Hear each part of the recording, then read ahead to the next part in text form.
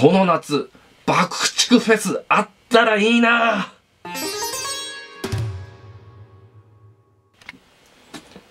どうもこんにちは、かげろうです。いつも動画をご覧になっていただきありがとうございます。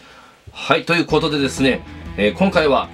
爆竹が迎える夏というテーマでですね、少しお話しさせていただきます。完全に妄想ですので、あらかじめ申し上げておきます。妄想です。はい。ということでですね、まあ昨今のこのコロナ禍の状況、もう本当にね、去年1年まるまるそれに振り回されて、さらに今年になってもまだこんな状況といったところでですね、まあ、特にエンターテインメント業界とかはですね、もう大打撃を受けてる、もちろん飲食店さんとかもそうなんですけれども、まあ、本当に経済が大打撃はもう受けているという状況なんでございますけれどもね、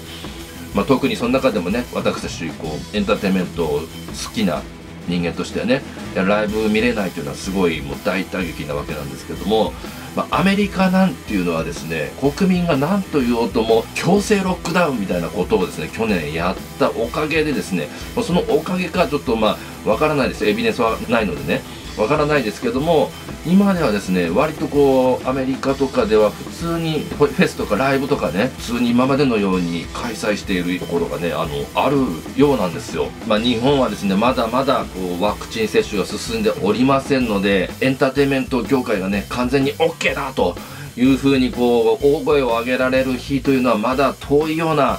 気がするんですよね。皆さんもこう肌で感じていらっしゃるかと思いますけれども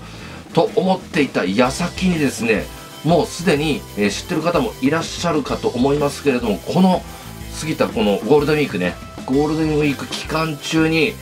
なんとですねこのコロナ禍において大規模音楽フェスが2つも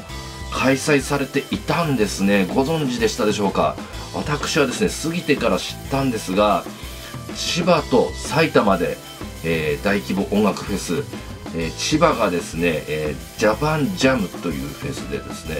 えーさい埼玉スーパーアリーナではですねビバラロックというですねもう万人単位ですよもう万人単位のね大規模フェスが行われていたということなんですよ。なのでね、えーまあ、この開催する勇気もすごいあの称賛すべきことだなというふうに私は思ったんですけれどもこの2つのフェスをね開催してこれ無事終了したということはですね本当にこうエンターテインメント業界において大きな風穴を開けることとなったのではないかなというふうに思うわけです。わけです。はい。ということでですね、ここで本題に入っていきたいと思うんですけれども、もうすでに言おうとしていることは、あの、お分かりかと思いますけれども、現在ですね、私たちが知れる爆竹の情報としましては、今年のね、今後の情報としましては、この5月いっぱいまで、えー日曜日サンデーライブストリーミングというのがあって、まあ、配信で、えー楽しめる楽しませてもらえるということと、まあ、今年の秋ね秋が何月からかわからないですけども漠然と秋に全国ツアーがあるということだけが、えー私たちはが知ってるわけなんですね。うんでただねこの先の見えないこのご時世ですから一体どうなってしまうのか秋なんてねこのオリンピックもしやったとしたら感染爆発なんかしてるんじゃないかと秋なんてどんな風になってるんだろうと心配で仕方ないですよね、えーだと思います。そうだと思うんですけれどもそこでですね先ほどの2つの大規模音楽フェスの前例。はい。もうお分かりですよねこれ。この夏爆竹フェスあったらいいな。絶対声とか出さないから企画会議のブレストの一案としてどうでしょうか。オフィシャル様という感じでですね、えー私はもうちょっと思ったわけなんでございます。あの爆竹のねパレードの時の30周年のパレードの時のようにお台場とかね。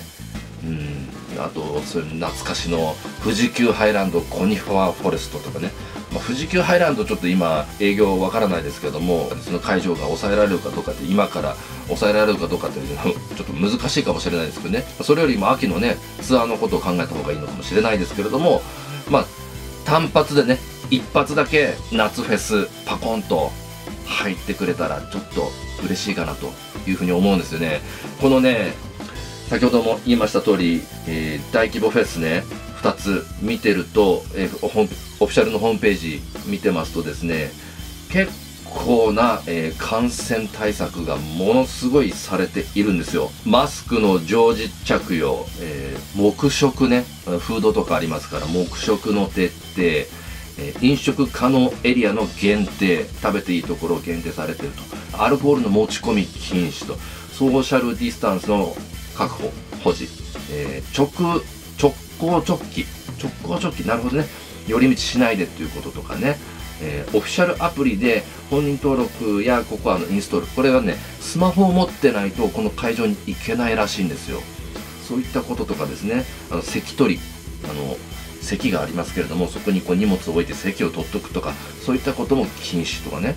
ものすごいあの徹底されたガイドラインがですねのオフィシャルのホームページに載ってまして、まあ、ここまですればね本当にそれこそ朝の満員電車に比べればねえどれだけこう感染症対策されてるんだということなんですよ。特に爆竹なんていうのはですね去年末の、えー、2020年のね12月29日のアブラカダブラの電位クエスチョンで証明されてますからものすごい拍手で埋め尽くされた武道館という前例がありますからこれはですね夏フェスだったらもう野外ですしそして爆竹ファンのリテラシーの高さから言ってこれは可能なんじゃないかなというふうに私は思うわけなんでございますがいかがでしょうか？と言いつつもとか言いつつもですね爆竹はですね意外にこう屋内で、えー、密室でですね、えー、スタジオとかでですね、えー、黙々と音楽私たちに聴かせてくれる音楽をレコーディングしてくれているとかね黙々と創作作業に入っているという方がかっこよかったりするのかもしれませんけれどももしかしたら夏フェス出演なんてあってもいいのかななんていう妄想の一つでございました。ございました。はいということでですね、まあ、最初に例を出した2つの大規模フェスね、えー、まだ2週間経ってないとかね終わってから2週間経ってないとかそういった問題はあるかもしれませんがこのフェスをねこうイベントを開催したということ自体がこう称賛されることではないかなと賛否両論はあるかと思います。ただこういったね大規模フェスを2つも開催したというねこう前例があるとないとではですねこの前進の仕方がねエンターテインメントの前進の仕方が未来へ進むスピードの速さがですねこう変わってくるんではないかなとぼんやり思いましてこの動画を撮っております。ということで今回の動画が良かったという方はチャンネル登録と高評価ボタンをよろしくお願いします。それではまた動画でお会いしましょう。かげろうでした。バイバイ。